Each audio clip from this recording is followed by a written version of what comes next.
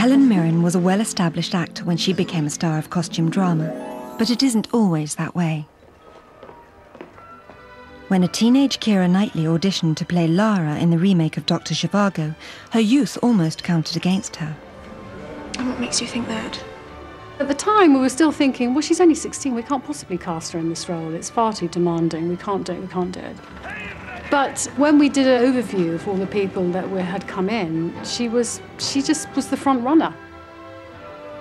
She had such a beautiful face. She was so poised. She was so intelligent. She was so confident that we became confident that she could handle it.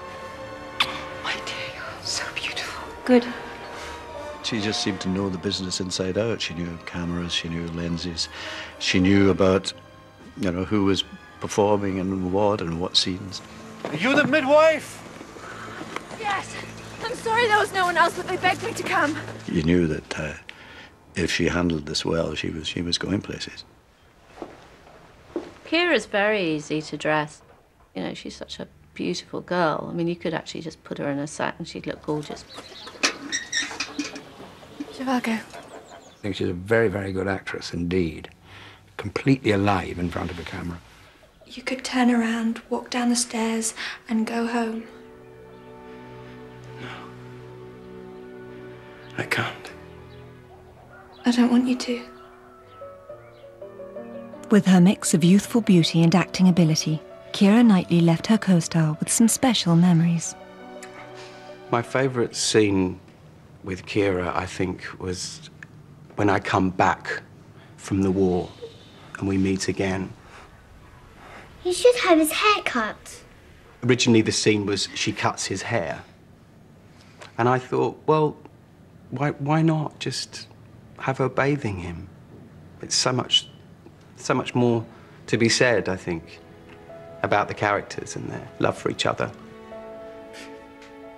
But Hans Matheson didn't expect what Keira did next. Well, I think she thought, God, Hans, you look so good right now that I've just got to get in this bath, no matter what. I think it was just, you're in the moment and it's happening and you're going through the motions. And what's lovely about actors is they kind of, their instincts ask them to do something, to move forward in the scene, even if it hasn't been rehearsed. And Yuri Zhivago is certainly enjoying himself. Why not? It's Keira Knightley. I thought she brought an incredible intelligence and gravitas to the role, even though it was an enormous challenge for her. Take care of yourself, Yuri. I did say that I thought she was going to be an enormous star and that she was actually as good looking as Julie Christie, which obviously is not something you throw around lightly. But she did just light up that screen, and, and of course, she's not looked back since.